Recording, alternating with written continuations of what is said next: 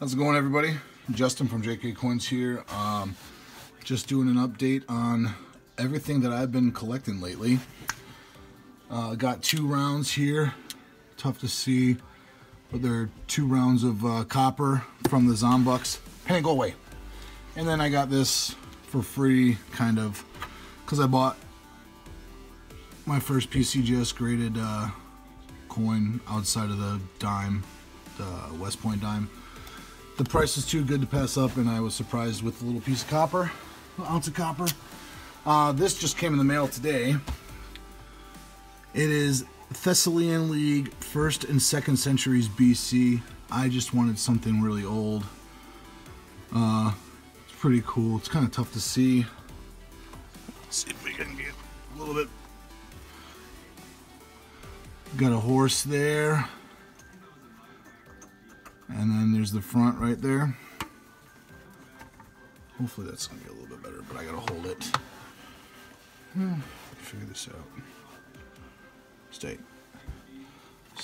I'll move on to silver rounds. I got quite a few.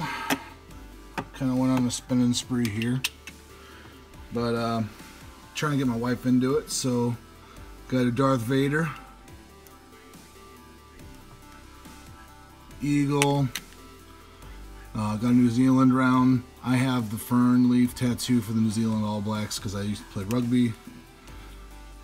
My favorite, Privy Proof Maple Leaf. Another eagle.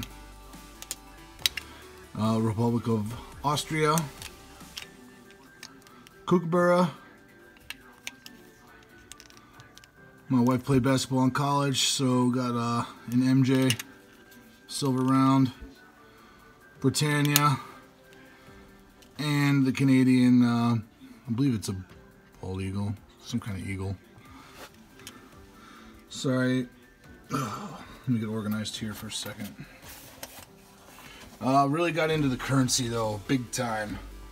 Just got these two right here. These are uh, two, just two red notes. They're Series 1963A and they're consecutive numbers. Got it for a decent price. Uh, picked these up at my local coin shop. I paid a dollar each for them. They're from 1944. I love World War II era currency. And then this one down here, I had to pick it up. I got it for a dollar plus shipping. Um, this is the first note that I was ever given, but it was the $50,000 version, 50,000 mark version. So when I was a little kid, I remember that guy's face. So when I saw it, I just had to have it. Uh, it's just inflation currency. Go to these right here. What I'm trying to do is, I'm really aiming towards $5 old notes. Uh, I basically just want one of each. So one of the A, B, C for each year, and then one of the star notes for each year. Uh, I really went heavy with the red notes so far, but these are the blue I have.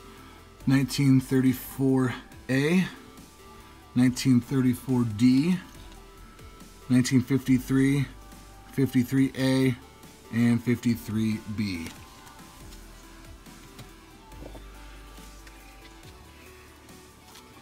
Alright, and here we go into the red notes.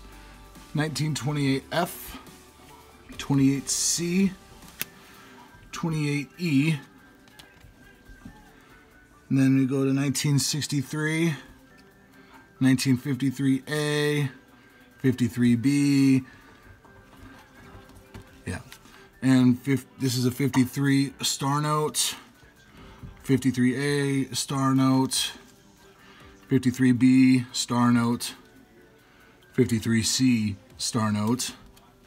And then there's a regular 53. And then here's one of my favorites. This is a North African $5 note from 1934. Uh, it's emergency currency from World War II. It's one of my favorites. And I'm from the Chicago area, so decided to pick up one of the 1929s. So for the fives, you could say I'm off to a solid start. Uh, other emergency currency, I got one of the $2 Philippine pesos, two pesos. But here is probably my favorite little section. I got the $5. It's starting to be a short snorter, kind of. Eh, yeah. Which is just a bunch of signatures. Got a uh, Kansas City large 5.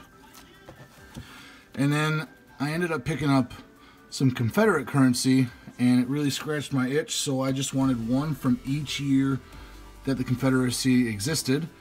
So this one is 1863.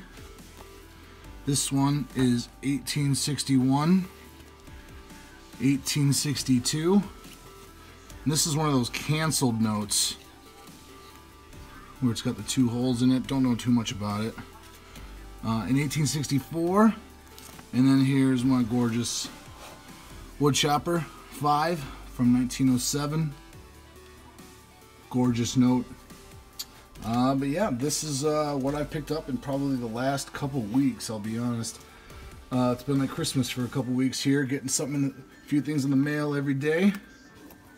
Um, found my first gold. Found a 10 karat gold necklace and pendant detecting, but that's about it. Uh, until next time, see y'all later. Keep hunting.